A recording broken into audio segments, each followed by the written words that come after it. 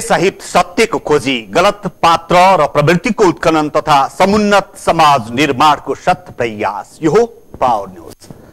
दर्शकहरू हाम्रो समाजमा कसैले केही गल्ती गर्यो भने कस्तो कुकुर जस्तो भनेर गाली गरिन्छ। तर जब हामी कुकुरलाई राम्रोसँग बुझ्छौँ तब उक्त भनाइ नसुहाउँदो मात्र होइन बिल्कुलै नमिल्दो लाग्छ। तालिम प्राप्त केही कुकुरले अपराध अनुसन्धानसँगै सुरक्षा र उद्धारमा निर्वाह गरेको भूमिकाले भन्छ कि मान्छे भन्दा कुकुर धेरै गुणा असल। अझ भनौँ कुकुरबाट मान्छेले सिक्नुपर्ने धेरै कुरा छन्। नेपाल प्रहरीले सक्दो प्रयास गर्दा पनि पहिचान गर्न नसकेका केही अपराधीलाई कुकुरले पत्ता लगाएको छ। नेपाल प्रहरीसँग अहिले अस्सीवटा कुकुर छन्। र ती अपराध अनुसन्धानमा प्रहरीका सारथी सिद्ध भएका छन्। मान्छेबाट अपराध कुकुरबाट अनुसन्धान। प्रहरीको तालिम प्राप्त कुकुरहरूले मान्छेबाट हुने अपराध न्यूनीकरणमा सहयोग नै गरिरहेका छन्। यसर्थ कुकुरले देश र जनताको सेवा गरिरहेको छ। इमान्दारिता र वफादारितामा अडिक कुकुरले सुँघेर हेरेर साथै ती कुराहरूलाई स्मरण गरेर अपराध स्थल र अपराधी पहिल्याउने गर्दछन्। यसर्थ समाजको सुरक्षामा कुकुर पहरेदार बनिरहेका छन् बन्न सक्छन्। हत्याकाण्डदेखि भिआइपी भिभिआइपीको सुरक्षा। प्रहरी कुकुर तालिम केन्द्रमा यस्ता कुकुर छन् जुन प्रहरीको अपराध अनुसन्धानमा प्रत्यक्ष सहयोगी बनेका छन्। प्रहरीसँग कर्तव्य ज्यान अपराधमा अनुसन्धान गर्ने ट्र्याकर कुकुर छ जसले हत्यामा फेला परेका सबुत प्रमाण सुँघेर अभियुक्तको पहिचान गरेर अनुसन्धानमा सहजीकरण गर्दछ।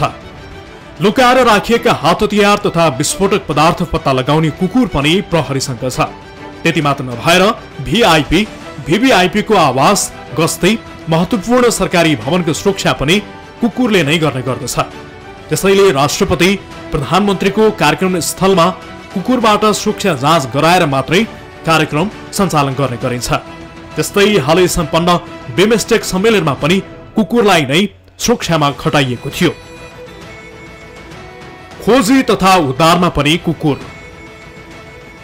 प्राकृतिक विपदमा परेका वा हराएका मानिसको खोजी र उद्धारका लागि प्रहरीले तालिम प्राप्त कुकुरको प्रयोग गर्दै आइरहेका छन्। द्वन्द्वकालमा कुकुरले थुप्रै विस्फोटक पदार्थ पत्ता लगाएको थियो भने जेलबाट कैदी भागेपछि पदचिन्ह पछ्याउँदै पक्राउ गर्न समेत सफल भएको थियो। त्यस्तै दर्जनौ हत्याकाण्डका अपराधीलाई पक्राउ गर्न पनि कुकुर सफल भएको थियो।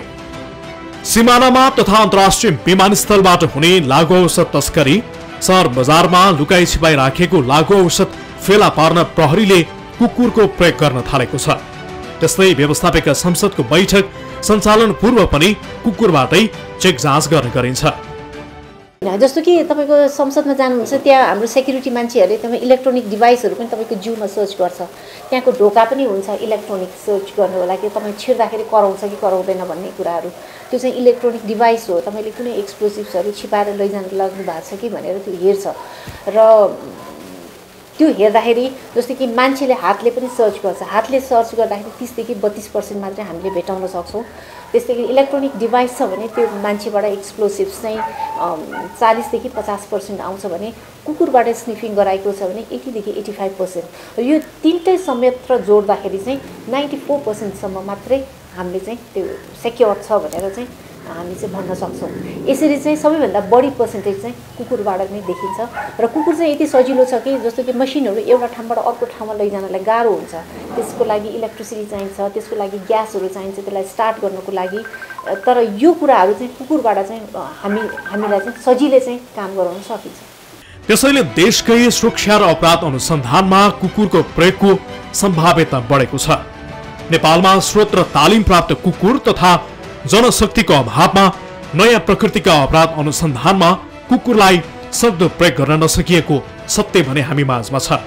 पर्याप्त जनशक्ति र स्रोत साधनको प्रयोग र परिचालन गर्न सकिए कुकुरको अनुसन्धानको दायरा र प्रभावकारिता झनै उपलब्धिपूर्ण हुने प्रहरीको विश्वास छ। हामी भिभिआइपीको सेक्युरिटीमा पनि कुकुरको प्रयोग गरिरहेछौँ। लागु औषध बरामद गर्नको निम्ति कुकुरको प्रयोग गरिरहेछौँ।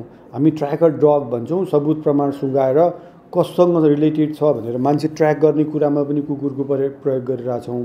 त्यसपछि गत साल गएको महाभूकम्पमा पनि हामीले कुकुरहरू परिचालन गरेर डिजास्टरमा मानिसहरू कहाँनिर लुकेका छन् अथवा कहाँनिर अप्ठ्यारोमा छन् आपत स्थितिमा छन् भनेर पत्ता लगाउने कामहरू पनि गरिरहेछौँ। र यी सबै कामहरूमा नेपाल प्रहरीका कुकुरहरूले उल्लेख्य काम गरेका छन् र कतिपय अवस्थामा मानिसलाई सकुशल बचाउनको निम्ति र कतिपय अवस्थामा जघन्य अपराध पत्ता लगाउनको निम्ति पनि यसले सहयोग पुर्याएको छ। प्रहरीले नै अनुसन्धानमा कुकुर निष्पक्ष साबित हुने बताइरहँदा केही घटनाहरूमा भने कुकुरको प्रयोग गर्न नसक्नु र नगरिनुले शङ्का जन्माइदिएको छ। कुकुरहरू चाहिँ निष्पक्ष अनुसन्धानमा र प्रहरी कर्मचारी चाहिँ अपराध लुकाउन लागे भने त्योभन्दा ठुलो लज्जास्पद र दुर्भाग्यपूर्ण के हुन सक्छ? त्यसैले सकेसम्म कुकुरको प्रयोग गर्नुपर्छ भन्छन् प्रहरी अधिकृतहरू। त्यो जहाँ घटना घट्छ त्यो घटना घट्ने ठाउँकै मान्छे अथवा त्यही पीडित मान्छे अथवा त्यही घरकै मान्छेले नै जो पब्लिक हो उहाँले नै चाहिँ त्यो चाहिँ नछोइदिनुपर्छ कि त्यो घटनास्थल चाहिँ? सुरक्षित राखिदिनुपर्छ। मेरो कति सामान हराएछ के हराएछ भनेर उहाँले खान तलासी गर्दाखेरि के हुन्छ भने उहाँको गन्ध बढी हुन्छ जसले चाहिँ जब अपराधीले छोएको गन्धभन्दा उहाँको गन्धले ओभरल्याप गर्छ। त्यो बेला चाहिँ कुकुरले काम गर्न गाह्रो हुन्छ किनभने गन्ध जसको बढी छ कुकुरले त्यसैको ट्र्याक लिन्छ। त्यसबाट हामीले नतिजा केही पाउँदैनौँ। त्यही कारणले चाहिँ घटनास्थल सकेसम्म उहाँहरूले सुरक्षित राखिदिनु पर्यो र छिटोभन्दा छिटो प्रहरीलाई खबर गरेर कुकुरको माग गरिदिनु भयो भने चाहिँ त्यसबाट चाहिँ केही हामी चाहिँ अपेक्षा गर्छौँ। कुकुरबाट प्रहरी सङ्गठनले पनि पाठ सिक्न जरुरी छ। पछिल्ला अपराधका श्रृङ्खलामा प्रहरीमाथि नै शङ्का बढिरहेको छ। छिमेकी देश भारतदेखि अमेरिकाबाट समेत नेपालमा अनुसन्धानका लागि कुकुर ल्याइएको छ र अनुसन्धानका क्षेत्रमा कुकुरको प्रयोग र प्रभावकारिता दिनदिनै बढिरहेको तथ्याङ्क छ। कुकुरले देखाएको सफलताका आधारमा भन्न सकिन्छ कि प्रहरीको संख्या जस्तै कुकुरको संख्या पनि बढाउने हो भने समाजमा बढ्दो अपराध न्यूनीकरण सहज हुनेछ। यसका लागि नेपाल प्रहरीले केही प्रयास त गरेको छ तर पर्याप्त छैन। थप प्रसङ्गसहित आउनेछौँ। एकैछिनको ब्रेकपछि। सुरक्षाका लागि कुकुरको प्रयोग गर्ने चलन नयाँ होइन। प्राचीन कालदेखि नै घर कार्यालयसँगै व्यक्तिगत सुरक्षाका लागि कुकुर पाल्ने चलन थियो। तर नेपालमा संस्थागत हिसाबमा अपराध अनुसन्धानकै लागि कुकुरको प्रयोग हुन थालेको धेरै भएको छैन। दुई हजार सत्ताइस सालमा दुई जवानलाई मलेसियामा तालिम गराएर ल्याएपछि नेपाल प्रहरीले कुकुरको प्रयोग गर्न थाल्यो। दुई हजार बत्तीस साल यता अपराध अनुसन्धानमा कुकुरको व्यवस्थित प्रयोग भइरहेको छ। हामीले कसैलाई तुच्छ शब्दमा गाली गर्दा कुकुर शब्द प्रयोग गर्छौँ। यद्यपि यो शब्द बोलिरहँदा समाजको पहरेदार कर्तव्यको सदाचार अनि धार्मिक संस्कृतिको सेतुको अपमान भइरहेको छ भन्नेतर्फ भने हाम्रो विवेक गएको पाइँदैन। हामीलाई कुकुरको महिमा त्यति धेरै थाहा नहुँदा हामीले यसको प्रभावकारिताको सदुपयोग गर्न सकिरहेका छैनौँ। तथ्य अनुसार चौबिसजना मान्छेले गर्ने काम एउटा कुकुरले सम्पन्न गर्न सक्छ। नेपालमा यो वफादार जन्तु पाल्ने चलन नौलो नभई प्राचीन कालदेखि नै हो। कुकुर घर बलुवा मध्येको सबैभन्दा बढी रुचाइने जनावर हो। यसलाई सबै इमान्दार वफादार र महत्वपूर्ण जनावरको रूपमा लिइने गरिन्छ। नेपालमा यसको पालनमा सुरक्षाको दृष्टिकोणले अझ बढी महत्वपूर्ण मानिन्छ। पहिले गाउँघरतिर बढी पालिने कुकुर अहिले सहरमा लाखौँ तिरेर पाल्ने सोख पनि बढिसकेको छ। राजधानी काठमाडौँमा कति परिवारले कुकुर पालेका छन् भन्ने एकिन तथ्याङ्क नभए पनि एक लाखभन्दा बढी परिवारले कुकुर पालेको अनुमान छ। राजधानीमा एउटा कुकुरको प्रजाति हेरेर पाँच हजारदेखि तिन लाख रुपियाँसम्म तिरेर कुकुर पाल्ने गरिएको देखिएको छ। विकसित देशले त कुकुरलाई अन्तरिक्षमा पठाउने जासुसीमा लगाउने खेलकुदमा प्रयोग गर्नेदेखि अपराधी समात्ने सम्भवमा पनि प्रयोग गरिसकेको छ। कुकुरको सुक्ने र अल्ट्रासाउन्ड पनि सुन्न सक्ने क्षमता भएकाले नै सबै काममा प्रयोग गरिएको हो।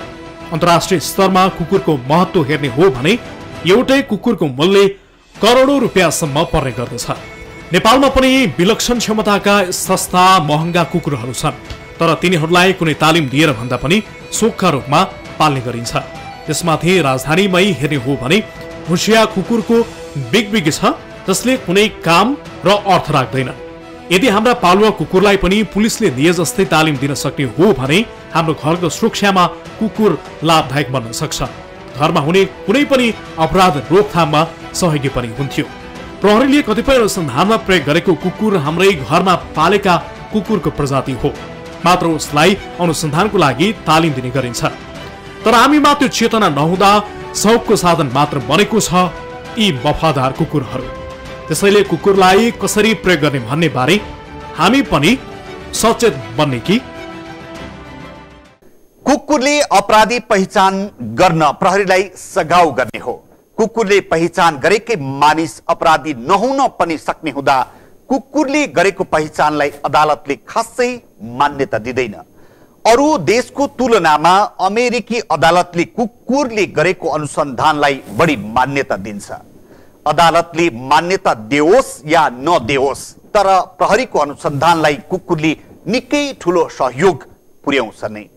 त्यसैले नेपाल प्रहरीले अहिले प्रदेश संरचनामा रहेको कुकुर स्कुललाई विस्तार गर्दै जिल्ला जिल्लामा पुर्याउने योजना पनि ल्याएको छ। तर गुणस्तरीय कुकुर उत्पादन र कुकुरलाई तालिम दिने प्रविधि र जनशक्तिको अभाव छ। अभाव पूर्ति गर्दै कुकुरलाई अपराध अनुसन्धानमा व्यापक प्रयोग गर्ने हो भने अहिले प्रहरीले खेपिरहेको आलोचना पनि केही कम हुन सक्थ्यो कि? हवस् त आजलाई पावर न्युज यति नै अर्को श्रृङ्खलामा भेट्ने नै छौँ बिदा दिनुहोस्। हामी निरन्तर न्युजमा छौँ। नमस्ते।